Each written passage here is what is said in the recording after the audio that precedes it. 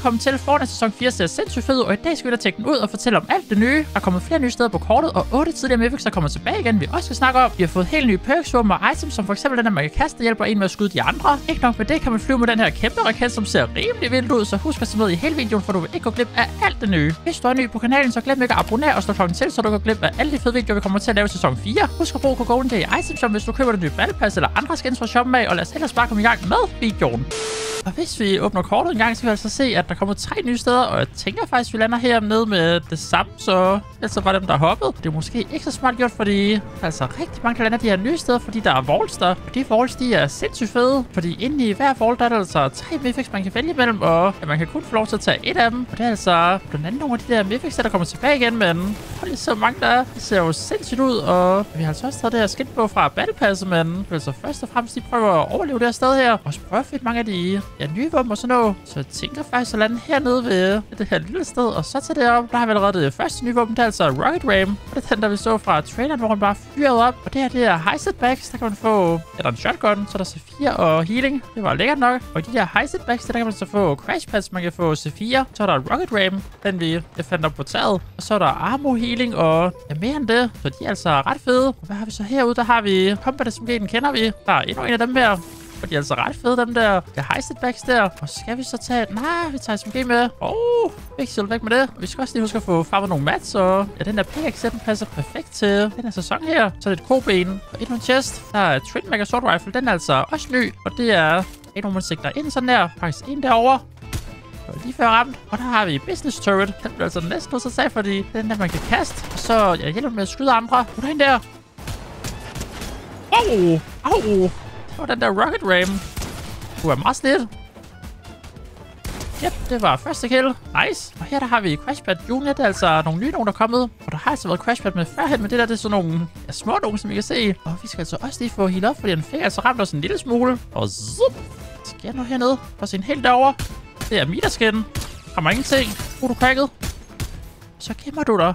Kom så frem. Altså, hvis jeg havde haft den der Rocket Ram, så havde jeg, jeg fløjet over til dig nu. Den har jeg desværre droppet. Den skal vi altså også få prøvet. 28. Nej, du får lov til at flygte. Hvor er det nede?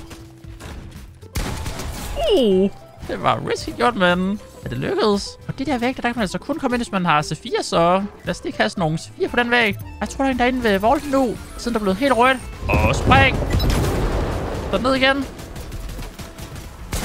Uh, det var der også. Jeg kan ikke flygte der.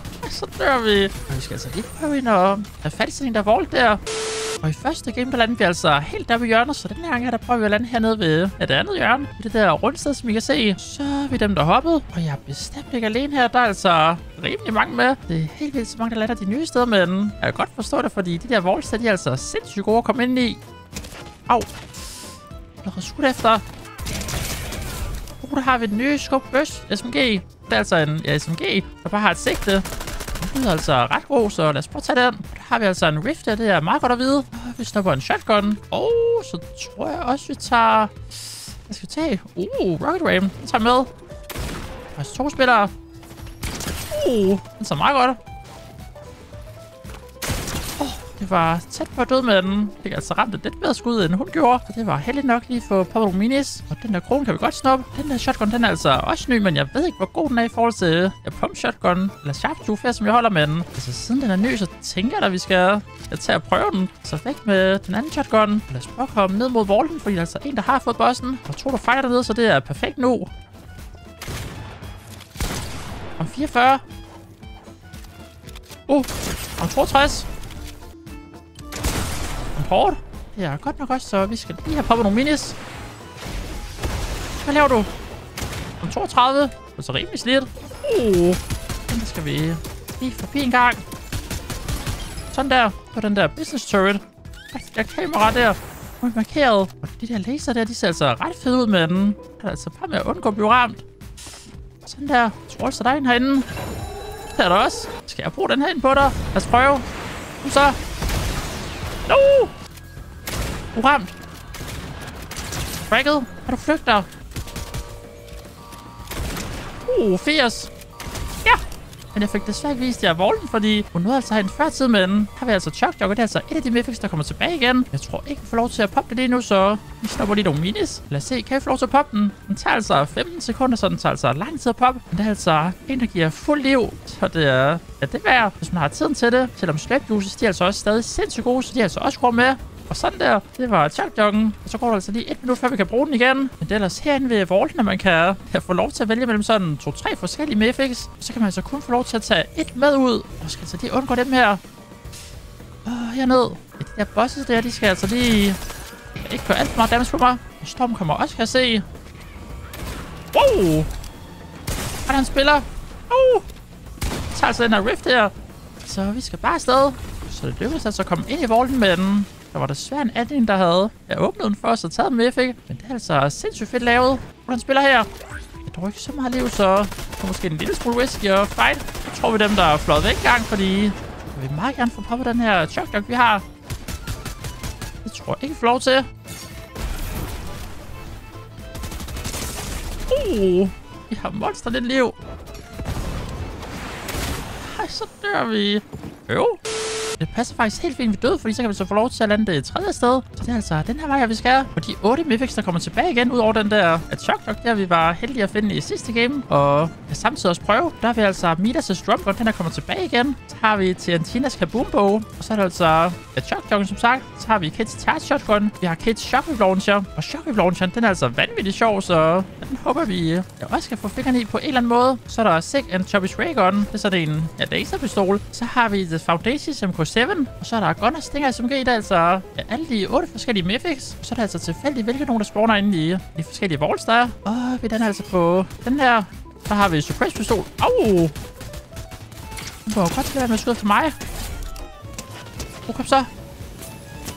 Hej, så er der en anden, der får killet. Åh, vi snummer lige bilen her. Wait, den er altså ret fed. Den kan meget godt lide. Jeg tror, bolden den er åbnet nu. Der er altså en, der bare har moden af. Ja. Men vi kan desværre ikke se, hvordan bolden ser ud. Men den der boss, den må altså godt lige gå væk. Hvad tror du så? Uh, du tog Kids Charts. Den tager vi. Så tager vi Twin Mag. Snup også lige den der. Det er altså en Mythic en. Sådan tror jeg er rimelig god. Jeg tror skyde en gang. Okay, den lyder vanvittigt hurtigt. Jeg tror faktisk, vi dropper den her, så tager vi Rocket Ray med. Vi har altså også fået nye perks, men dem kan jeg nævne en lille smule senere. Nu skal vi altså først lige ud herfra. Den der. Åh, oh, den rammer meget godt på 30. Det var altså vejen, der skulle væk det der. Men det lykkedes os at komme ud igen. Lækkert. Så har vi en NPC.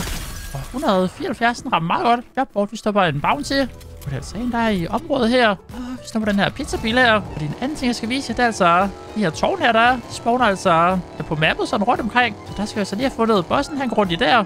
Så starter vi lige med dig. Væk med dig. Og skal vi lade med det som en gang. Så skal vi lige have den anden NPC ud. Der skal vi også lige ud. Kom så. Au. var alligevel en lille smule skade.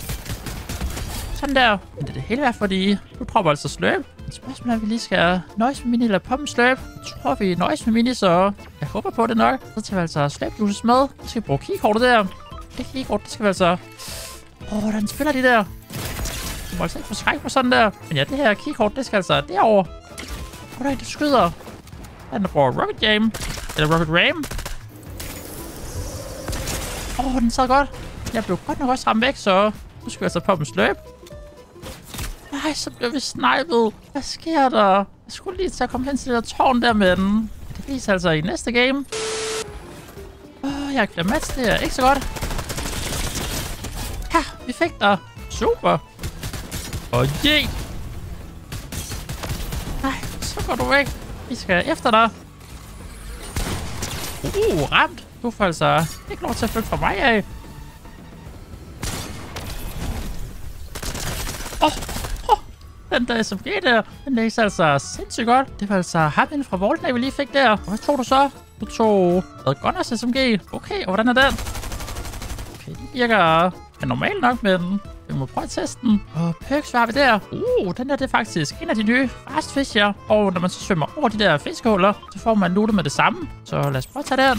Oh, så har vi armor drop. Den er altså også ny, hvor man får armor med det samme, og når man så dræber andre, får man ja, også mere armor fra dem af, end hvad man normalt ville have fået. Men skal vi tage den? Eller skal vi tage to nye? Jeg tror, vi prøver at tage to nye. Og den øverste der, den er faktisk også ny. Det vil sige, at pistoler, de skyder langsomt, men at de gør mere damage. Snipers har ekstra skud. De er ekstra spændende, så det er der nogle nye. Min første shotgun gør mere damage. så den kunne vi gengæld godt tage, fordi ja, den nedenunder, den er altså også ny. Der får man liv, når man rammer andre spillere med, ja, sniper. Så lad os gå med den der med shotgun. Og udover dem, der vi lige så, så har vi altså også en, der hedder On The Go Bag. Så hvis man åbner en test eller andre ting, så får man altså et ekstra item, så vil være de der ja, heist bags der. Så der får man en ekstra ting, hvis man vælger den. Der kommer en spiller nu. Om 33. Jeg tænker, der er rimelig god set ud til. Uh, den ramte også meget godt. Cracket. Au! What? Jeg kunne ikke gøre noget. Den så godt.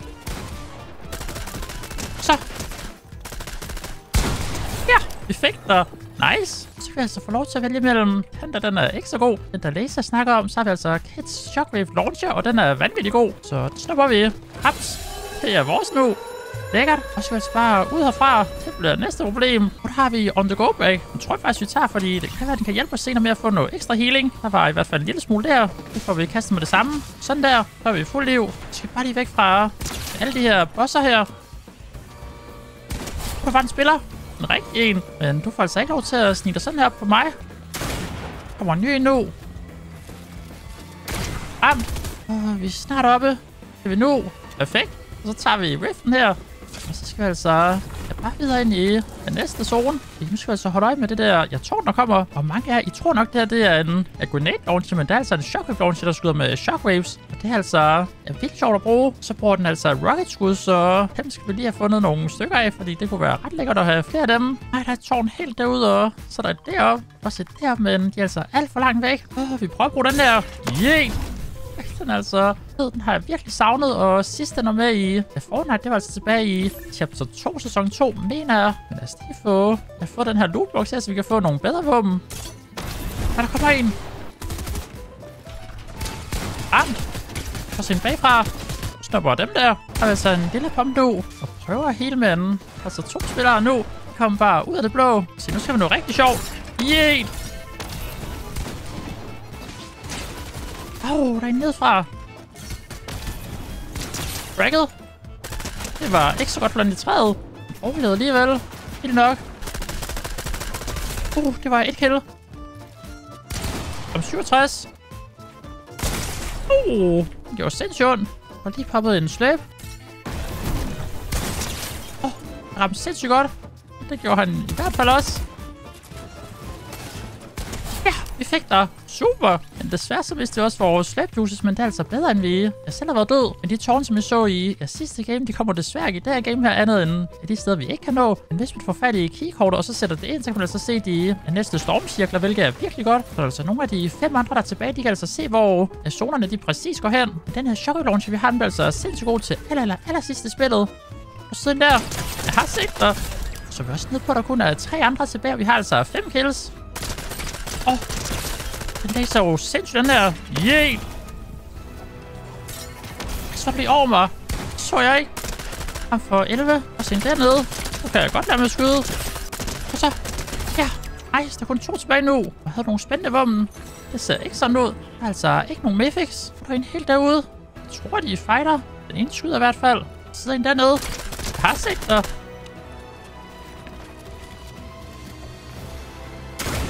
Uh! Yay! Jeg skal lige et smut herover og se, nu kan jeg godt se, at nu bliver den her chocolate launcher virkelig god. Yay! Så er vi næsten inde i næste zone, hvilket er sindssygt godt. Jeg er inde for til high ground. Får du altså ikke lov til. Og så. Altså, godt gå ned. Det tror jeg dog ikke, du gjorde. Yay! Vi skal lige have heal op. Det er meget vigtigt. Yay! Åh, oh, det var et perfekt i det der. Cracket. Prøv igen. Nej, det er forkerte vej. Vi skal lige tilbage igen. Nej, så når du får mig der. Vi løber tør for mats. Vi bliver altså nødt til at gå ind i et til spil, fordi vi skal altså have den der victory glider, så I også kan se den. Her er det mit aller sidste forsøg, uanset hvad. Nice. Der er en til, der flyver. Det var et kill. Og jeg har det. det virkede. Jeg ændrede bare mit floor sådan, så ja, hendes spil faldt sammen. Perfekt.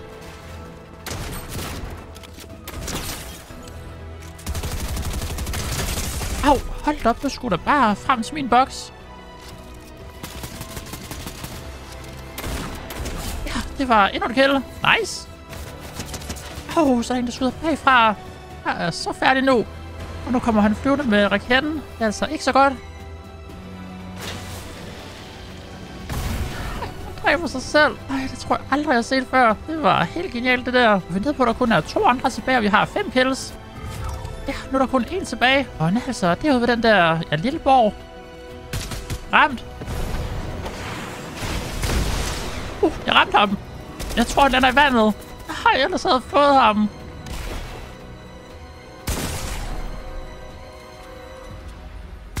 Ramt.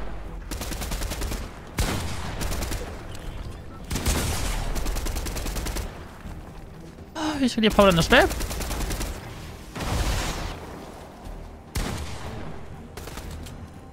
Så, breaket. Ej, du er så slidt. Jeg tror ikke, du har flere match tilbage. Altså heller ikke. Ja, yeah, det lykkedes at vinde. Vi rammer altså kun fra 7 til allersidst, og nu skal vi altså se Victory-glideren. Og her der har vi som sagt Victory-glider, som man får, når man jeg vinder sit første spil. Og prøv at skrive ned i kommentarfeltet, hvad du synes om sæson 4. Jeg synes, den er sindssygt fed. Husk at give videoen et kæmpe stort like, og så vil jeg bare sige tusind tak, fordi du så med. Vi ses i næste video.